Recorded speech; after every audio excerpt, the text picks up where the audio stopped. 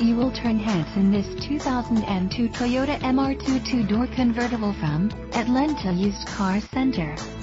Let the acceleration push you into the black seats as you put the pedal down to the 1.8-liter inline four-cylinder 16-valve engine.